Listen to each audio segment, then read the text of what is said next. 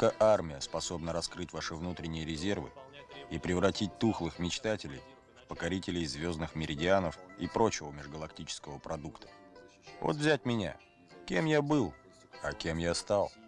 Мягко говоря, всем. А почему? Да потому что я русский солдат.